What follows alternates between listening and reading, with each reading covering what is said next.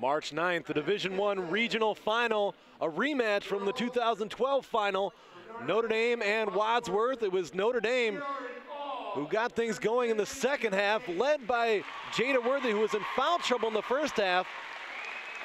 As Wadsworth was led by Mackenzie O'Brien, who had 14 first half points, but not enough for Wadsworth in the second half to get the job done.